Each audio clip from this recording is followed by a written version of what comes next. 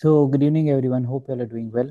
In today's session, I'll cover my lecture number 77, and this will be taking into consideration the guidelines from the Joint British Diabetic Society, which were released in April 2024, uh, talking about glycemic management during enteral feeding for patients with diabetes in the hospital.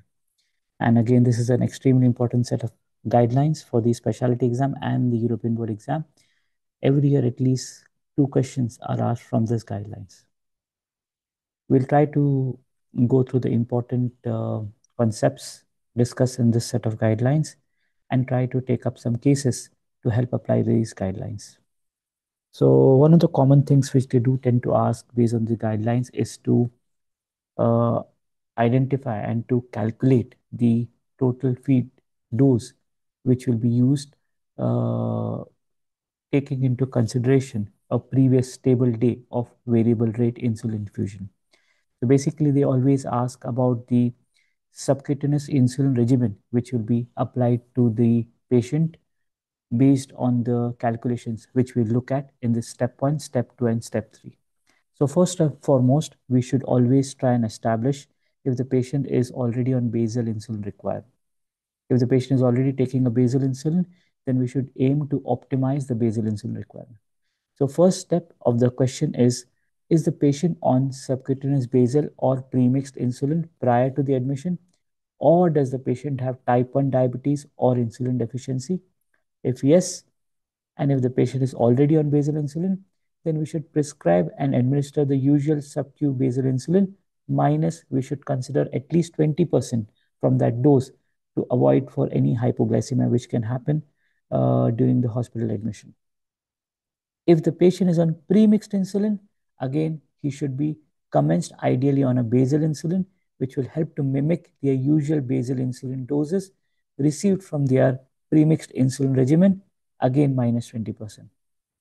If the basal insulin requirement is totally new, then it is mentioned that we should refer to the diabetes inpatient team to establish this dose.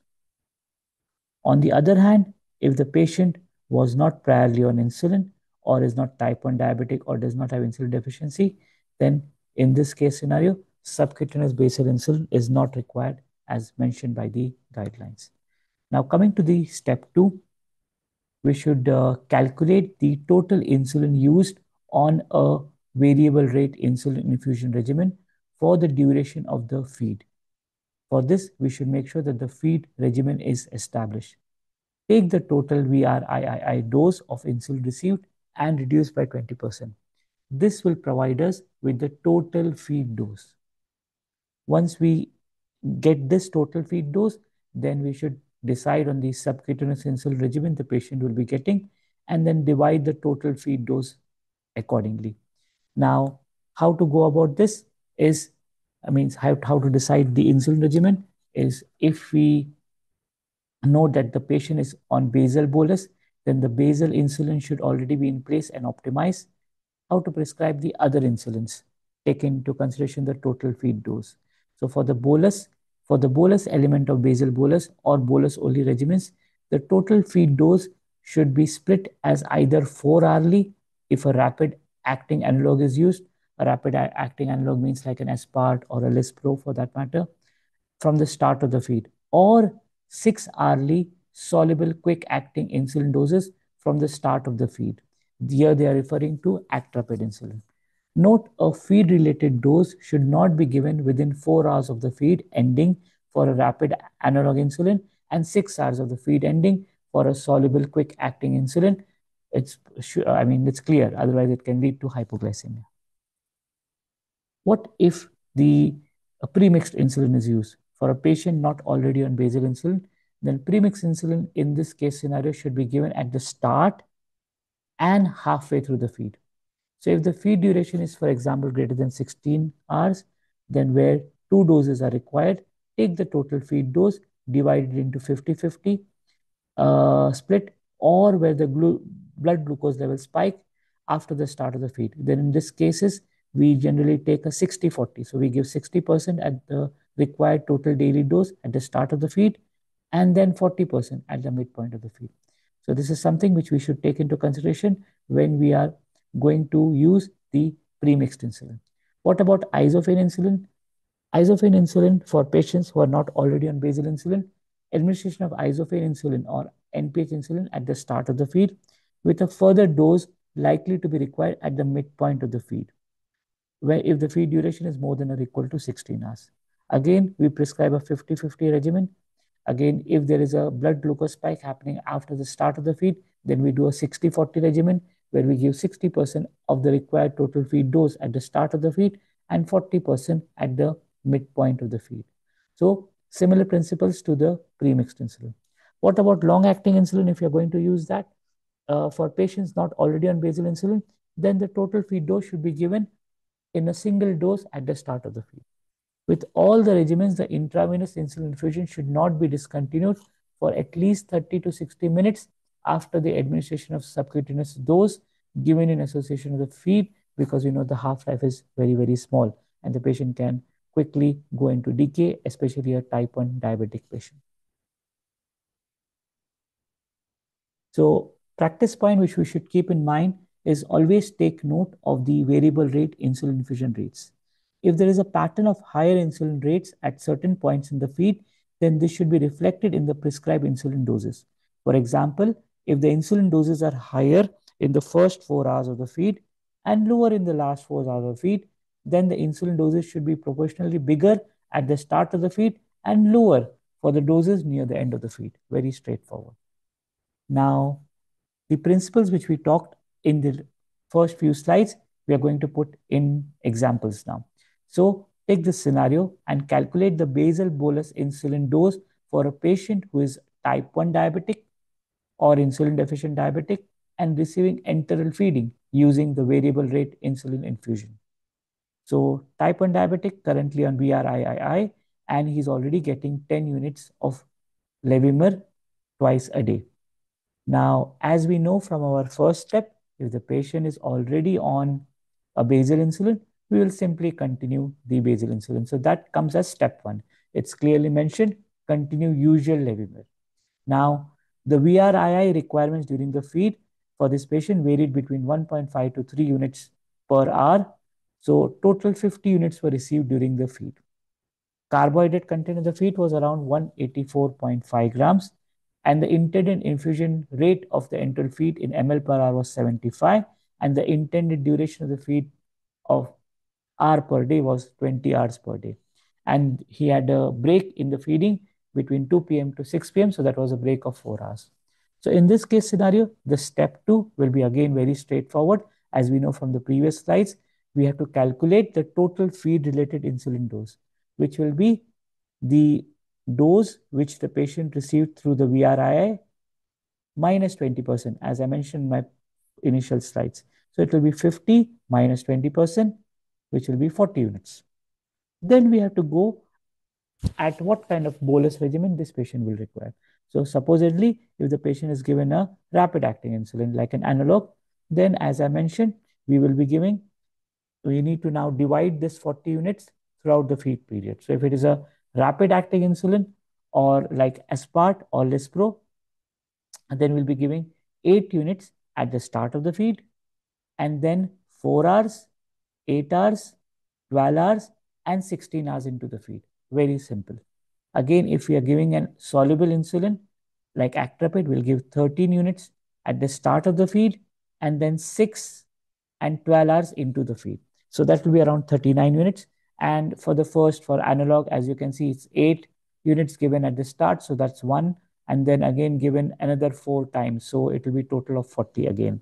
So remember this principle, which I told you in the in this particular slide, that in cases of uh, uh feed related dose, it should not be given within four hours of the feed, ending for a rapid analog insulin, and six hours of the feed, ending for a soluble quick acting insulin and hence it is equally spaced in this particular slide and that is how we'll calculate. So commonly they give this example and then they put these uh, in the options in terms of their bolus regimen calculations. So it's very, very important uh, to understand this concept from this initial slides. Let's move on to example number two. Here we are calculating the premixed biphasic insulin dose for a patient who is not type 1 diabetic or insulin deficient, but receiving enteral feeding using the variable rate insulin infusion. So type 2 diabetic patient currently on VRII and no basal insulin requirement. So no basal insulin requirement, as we know from our initial slides, step one is very straightforward. No regular basal insulin will be required in this patient. Now we'll look at what is step two. Again, this patient is receiving between 1.5 to 3 units per hour, and that will be total of 50 units received during the feed. Carbohydrate content in this example is the same as the previous. The intended infusion rate is the same, and also the intended duration of the feed is same 20 hours per day. And again, there is a feed break between 2 p.m. to 6 p.m. So what is the step two? Again, calculate the total feed-related insulin dose. That will be 50 units minus 20%. That will be 40 units. Now calculate the uh, regimens which the patient will be needing. So here they have given example of using an isophane insulin for that matter. So if you're using an isophane insulin like Insulatard NPH, what will we do? We will give around 60% at the start of the feed because usually the blood sugar spikes at the start of the feed as we saw in this particular uh, slide. And then we'll give 40% at the uh, 10 hours into the feed. So basically we're talking about uh, uh 24 units at the start of the feed and then 16 units 10 hours into the feed. 10 hours into the feed is halfway into the feed as the total feed is for 20 hours. Step three alternative, where if we are going to choose a mixed insulin regimen in this scenario, then if you're using an analog mixed insulin, the Novomix 30 will be giving again 24 units at the start of the feed. So again, that will be 60% and 16 units 10 hours into the feed. So again, uh, when we are halfway through the feed. So this is how we will calculate the bolus regimens for these patients. Extremely important for uh, understanding how to decide the insulin regimen uh, based on the total feed related insulin dose the patient is using and what to do about the optimization of the basal insulin requirement. Very important concepts from these guidelines, repeatedly asked in the exams. Another case scenario, this is a 62-year-old female known to have type 2 diabetes, admitted with stroke. Her diabetes was well managed uh, previously with Humulin M3, unit M3, which she was taking 30 units twice daily prior to admission the team decided to insert an NG tube for the purpose of feeding, and now we are asked to see her to decide on the dose and regimen of insulin therapy. The dietitian is aiming to provide the following regimen. Enteral feed, ml per hour. Uh, carbohydrate content of the feed, uh, it's around uh, 15 gram per 100 ml. Intended infusion rate around 100 ml per hour. And intended duration of the feed will be 16 hours per day and they have asked what is the estimated Humulin M3 dose from the carbohydrate feed content that she should be given. Is it 18 units, 24 units, 38 units, 40 units, or 60 units? Now, this is extremely important, how to come to the, uh, how much of the dose this patient will be required. So there is a formula, again discussed in the guidelines, extremely important, repeatedly asked in the exams. So first of all, the total carbohydrate intake from the enteral feed we need to know. That is the total carbohydrate intake expected from the enteral feed over the entire duration of the feed. Example, it may be for 16 hours or 20 hours or 24 hours. This is calculated by the infusion rate, which will be ml per hour, into the carbohydrate content, which will be the gram per 100 ml, into the duration of the feeding, divide by 100. So here we have the intended duration of feed, which is 16 in this example scenario. Then we have the infusion rate, which is clearly mentioned. It is 100 ml per hour. And we have the carbohydrate content, which is gram per 100 ml, which is 15 gram per 100 ml. So we have to put these three things into this formula to get the total carbohydrate intake, which the patient will be getting from the enteral feed. Next is look at what we call as the carbohydrate to insulin ratio or the CIR. This is how many grams of carbohydrate to glucose are covered by one unit of insulin. The blood glucose rise from the enteral feed is much more than will occur from normal meals. Therefore, one unit of insulin will cover less of carbohydrate load. If not usually on insulin, then the uh, if the patient is not usually on insulin, then we use a simple CIR value of 10. If the usual total daily dose of that the patient is already taking is less than 40 units, then use a value of 8. If usual total daily dose of insulin that the patient is taking is more than 40 units, use a value of 6. This is clearly described in the guidelines. So if patient not priorly on insulin, use a value of 10. If using less than 40 units per day, use a value of 8. If using more than 40 units per day, use a value of 6. So what was our patient using? Our patient was using 30 units twice a day, so almost 60 units per day. So we should use a CIR of 6 in our patient scenario. So let us now look at the answer to our question that how much of M3 will the patient be need to be given. So uh, this is a uh, daily now. So let's look at this, this patient. So we have the carbohydrate content of the feed, which is 15. Intended infusion rate, as I mentioned, 100. Intended duration of the feed, 16. Previously on insulin with the total daily dose around 60 units. So the CR which we need to consider is 6. So this is how we'll calculate the total Humulin M3 dose. So it will be carbohydrate content of the feed uh, multiplied by 100 multiplied by 16. So that's the carbohydrate content of the feed multiplied by the intended infusion rate multiplied by the duration of the feed. Divide that by 100 and divide that by the CIR. And that will be giving us 40 units. And that is the dose the patient will be needed to be given in the 24 hours. So what is the estimated Humulin M3 dose for the carbohydrate feed content that she should be given? The correct answer for this patient will be 40 units. And we get that very simply by doing the total carbohydrate intake from the enteral feed and dividing that by the CIR to get the answer for the case scenario, which is commonly asked in the exams. Now, this is case number two. Here we have a 58 year old female diagnosed with type 1 diabetes at the age of 5. She had poor control for the last 10 years, admitted with stroke, commenced enteral feeding, titrated up to the full uh, rate over 48 hours. She was given a variable rate intravenous insulin infusion for the first 72 hours of her hospital admission with hourly capillary blood glucose monitoring. Her basal insulin doses had been omitted. To continue on this case and to get access to my full lecture series, which will cover in detail the complete guidelines. Please subscribe to my lecture series. Uh, currently, there are, including this lecture, 77 lectures on my lecture series. And if you get need to get the full subscription, please email me on mmazirules at gmail.com or you can simply WhatsApp me on 0097155 743 4794. Thank you so much.